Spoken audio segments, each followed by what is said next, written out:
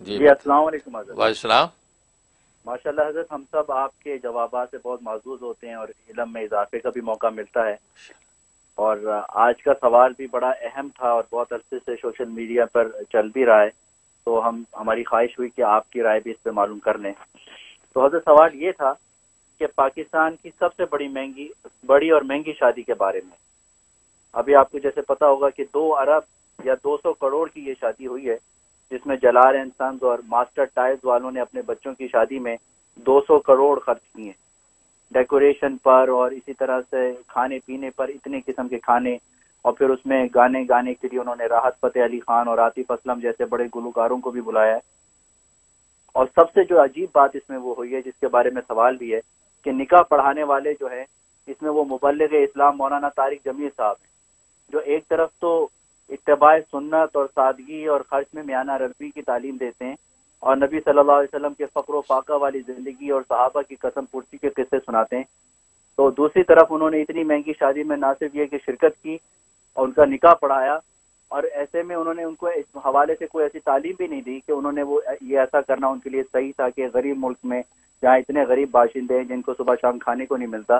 उनके बारे में कोई उन्होंने ऐसा कोई सामने नहीं आया कि कोई ऐसी तालीम दी हो। क्या वो अपना असर रसूख इस्तेमाल करके कोई म्याना रवि का रास्ता नहीं इख्तियार कर सकते? थे ये थोड़ा सा हम जानना चाह रहे थे आपसे। अच्छा। बहुत शुक्रिया बहुत शुक्रिया। बकिया वीडियो देखने से पहले वीडियो को लाइक करें राहम टीवी चैनल को सब्सक्राइब करें और बेल आइकन पर क्लिक करें। शुक्रिया। माशाल्लाह माशाल्लाह आपने बड़ा अच्छा सेंसिटिव मौजू उठाया है। और ये पाकिस्तान के अंदर 200 करोड़ की जो शादी हुई है दो अरब रुपए की और मैंने भी, खैर, वो सोशल मीडिया पे ख़बरें इसकी देखी हैं कि बहुत महँगी तरीन शादी हुई है। तो बहरहाल जो है, करने वालों ने इतनी महँगी तरीन शादी कर डाली। और फिर सबसे मेन बुनियादी जैसे आपने फरमाया कि मौलाना तारिक जमील मुबलग इस्लाम, वो उन्होंने शिरकत ना सिर्फ़ की बल्कि निकाह पढ़ाया उन्होंने।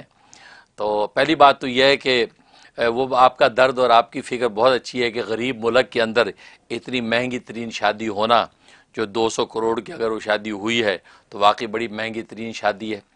और वो जो है, और, एक गरीब मुल्क तो इसका मुतमिल नहीं है। और फिर ये सवाल कि 200 करोड़ कैसे आया? जो आदमी 200 करोड़ खर्च कर रहा है, उसके पास पता नहीं कितने हज़ारों करोड़ मौजूद होगा कि वो 200 करोड़ खर्च किया है। और वो अब टैक्स कितना देता है सालाना मुल्क कौम को तो वो भी एनालाइज होना चाहिए। तो ये एक मुस्तकिल, एक अलग मौजू और बाब खुल जाता है। लेकिन जहाँ तक मेरे इलम में है कि मौलाना तारिक जमील साहब जो है मुबलग इस्लाम, उनका निकाह पढ़ाना, उनके जो है वहाँ शिरकत करना, फिर जैसे आपने बताया उन्होंने भी कोई ऐसी जो है तालीम नहीं दी, जबकि ख़ुद जो है वो इतबा सुन्नत और सादगी की तालीम देते हैं, लेकिन इतनी महँगी शादी के अंदर जाकर उन्होंने इस किस्म की बात नहीं की है। तो पहली बात तो ये कि मेरे जहाँ तक इलम में है और मैंने मौलाना तारिक जमील साहब जो है, उनकी एक वजाहत भी मेरे सुनने में आई। जो मौलाना सज्जाद नुमानी, मौलाना सज्जाद नुमानी साहब दामद बरक़ातमलिया इंडिया के जो एक बुज़ुर्ग हैं, उन्होंने जो उस पर तनकीद किया लहदे की है तो मौलाना तारिक जमील साहब ने उसकी वजाहत पेश की। और ज़ाहिर है कि ये मुबलग इस्लाम और तारिक जमील साहब का भी बड़ा पन है कि उन्होंने एक बुज़ुर्ग की डांट पर जो है उसकी वजाहत पेश की, वरना आजकल की दुनिया में कौन किस बात की केयर करता है? तो ये मोहतार जमील साहब की बड़ाई है कि उन्होंने जो उसकी वजाहत पेश की और उन्हें अपना उज़र वाजे किया। उसके अंदर जो मोहतार जमील साहब ने जो इशाद फरमाया कि उन्होंने इस बात को बिल्कुल झूठ करार दिया कि ये दो अरब रुपए की शादी यानी दो सौ करोड़ की शादी है। बल्कि जैसे कि उन्होंने वहाँ नंबर ज़िक्र किए हैं गालबा, उन्होंने कहा कि दस करोड़ की, क्योंकि ये बात जब सामने आई तो कहते मैंने पूछा उनसे कि उन्होंने कहा कि दस करोड़ की शादी हुई है। बारह, दस करोड़ भी एक बड़ी रकम है तो दस करोड़ की शादी हुई और फिर उन्होंने ये भी एतराज़ उन पर पड़ा था कि उनको या दस लाख रुपए मिले। तो मोहताज मील साहब ने उसकी वजाहत की कि ये भी एक बहुत बड़ा दजाली मीडिया का झूठ है कि जनाब वो दस लाख मुझे मिले। तो असल बात यह कि मीडिया जो है किसी मौलवी के बारे में ऐसी अगर बात करता है तो मीडिया को तो मुँह नहीं है। मीडिया तो डबल स्टैंडर्ड जो है वो चलता है और ख़ास पर मौलवियों के ऊपर कीचे उछालना, ये जो है वो उनकी जो है वो रविश है। लिहाजा कोई मौलवी जो जिसको अल्लाह तबारक मुआशरती तौर पर इज़्ज़त दे रखी हो और दौलत व सरबत दे रखी हो तो ये जो है हमारा मुआशर उसको बर्दाश्त नहीं करता। तो इसलिए मोहतार जमील साहब पर यह एतराज़ किया, लेकिन उन्होंने जो वजाहत की है, और बिल्कुल अगर उन वजाहत पर अगर आपको यकीन है तो बिल्कुल बात मुनासिब है। और बाकी दस करोड़ की उन्होंने शादी की है। हाँ अलबत् मैं शादी वालों से, ऐसी शादी करने वालों से मैं एक दरख्वास्त ज़रूर करूँगा। ठीक है, आप दस करोड़ की शादी करें। वो कोई आपको अल्लाह ने नवाजा है आप जितना चाहे खर्च करें। आप अगर जो है नहीं जो है वो, वो किफ़ायत शारी के साथ करना चाहते हैं आपको नवाजा आप करें। लेकिन अगर वो एक काम ये करें कि ऐसी अजीम शान शादी के मौके पर गरीबों का ना भूलें। मुल्क और शहर के गुरबा को अब मसाकिन और मोहताज और भूखों को इग्नोर ना करें तो इनकी ये आलिशान शादी भी इबादत बन जाए। यह मतलब है कि ये दस करोड़ की जो शादी है, जैसे इन्होंने वो शामियाने लगाए और बड़े बड़े मालदारों को वहाँ बिठाया और उसको जर्क किया और ट्वेंटी सेवन किस्म की खाने पीने की वहाँ डिशें रखी और मीठे की एक एक किस्में ऐसी ऐसी किस्में मीठे की कि अकल हैरान? तो ये कम अज़ कम ये करते, उस जगह पर एक और टेंट लगा देते, जिसके अंदर जो बिठा देते कि ये पाँच हज़ार गरीब आ जाएँ। शहर के पाँच हज़ार गरीबों का खाना वहाँ लगा दो जी। दस हज़ार गरीबों का खाना के लगा दो। दो हज़ार गरीबों का खाना लगा दो। तो एक टेंट सिर्फ़ गुरबा के लगा दिया जाता, इस इलाके और शहर के जितने गरीब हैं वह आ जाए खाना खाएँ। तो अगर इधर गरीबों को भी खाना खिला दिया जाता, दस हज़ार गरीब भी खाना खाते, दस हज़ार गरीबों कितना खर्च होता?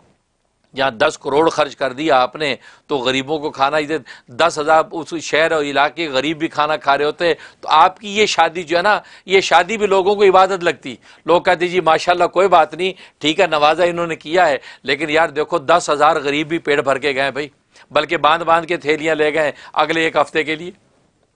तो मैं ये कहा करता हूँ कि हमारी कौम को जो है, सियासत भी नहीं आती, सदाकत तो नसीब में है नहीं, सियासत भी करनी नहीं आती।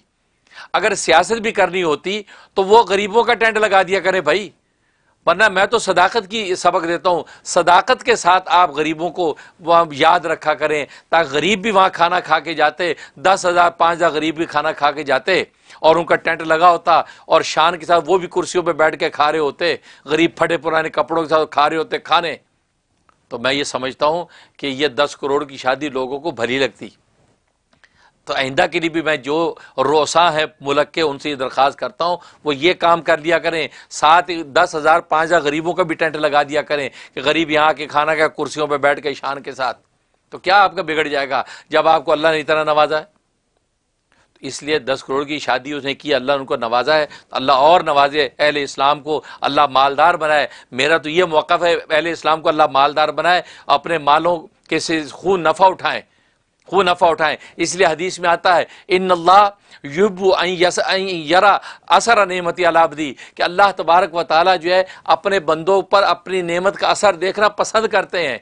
अगर कोई मालदार है, उसको मालदार है तो अच्छी पोशाक अगर पहन निकलता है, आला खुशबू लगा के निकल तो अल्लाह खुश होते हैं। इसको मैंने नवाजा है और यार उसका हक अदा कर रहा है। अब आपको नवाजा है और आप फटे पुरानी जूटियाँ पहन के फिर रहे हो तो भाई ये अल्लाह तबारक व ताली को तो पसंद ही है। इन अल्लाह युहिबू आई यरा असर नेमती अलाबदी अल्लाह अपनी यह नेमत का असर अपने बंदों के ऊपर देखना पसंद करता है। तो अगर किसी को नवाजा है तो खर्च करे, लेकिन मैं ये सबक देता हूँ कि गरीबों का ना भूले। क्योंकि देखो, मेरे कहने से, खर्च करने से बाज आने वाले नहीं है लोग। जिनको नवाजा है वो उसी शान से रहेंगे, उनको अगर रोल्स राइस लेने की ताकत तो रोल्स राइस ही गाड़ी लेंगे। उसको मेरे कहने पे ट्विटर कार कोई नहीं लेगा। है? किसी का दस कनाल के ऊपर बंगला बनाने की ताकत दस कनाल का ही बनाएगा। मेरे कहने पे एक कनाल का नहीं बनाएगा। लेकिन मैं ये देख कहता हूँ कि वो इस शान से करें, लेकिन साथ गरीबों के लिए भी वहाँ टेंट लगाएँ। गरीब, दस हज़ार गरीब भी वहाँ खाना खा के आए। भूखे वहाँ से अपनी भूख मिटा के जाएँ, प्यास से प्यास मिटा के जाएँ, उन्हीं कुर्सियों मेज़ों के ऊपर बैठ जाएँ, बैठ के खाना खा के जाएँ। तो नतीजा क्या होगा?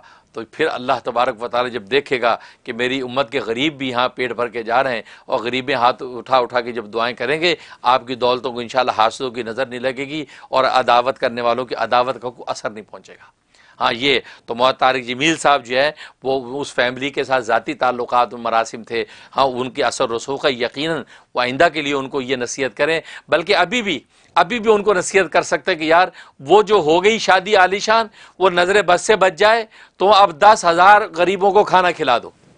एक आलिशान टेंट लगाओ, आलिशान उनके बैठने का इंतज़ाम करो और दस हज़ार गरीबों के लिए यहाँ पर जो है, वो कौरमा और रोटी खोल दो।